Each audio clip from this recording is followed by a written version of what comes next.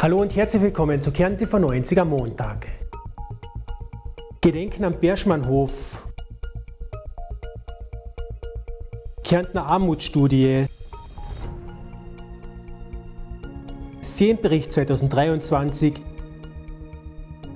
er liegt oberhalb von Bad Eisenkappel und ist Gedenkort und Museum zugleich, der Berschmannhof. Im Andenken an jene Familien, die 1945 von Nationalsozialisten am Hof ermordet wurden, legten Bundespräsident Alexander van der Bellen und Landeshauptmann Peter Kaiser gestern Grenze nieder. Zukunft sei für eine Gesellschaft nur möglich, wenn auch das Erinnern einen maßgeblichen Stellenwert habe, so der Tenor.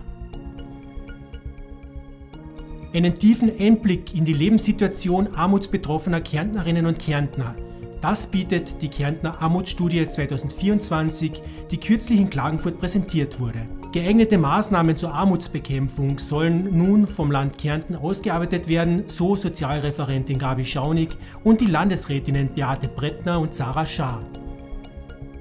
Kärntens Seen haben eine ausgezeichnete Qualität dieses erfreuliche Ergebnis des Seenberichts wurde kürzlich von Umweltlandesrätin Sarah Schaar und Georg Sandner vom Kärntner Institut für Seenforschung präsentiert. Insgesamt wurden 40 Seen überprüft, bei neun davon stieg die Wasserqualität im Vergleich zum Vorjahr. Mehr Infos dazu gibt es auf kiss.ktn.gv.at.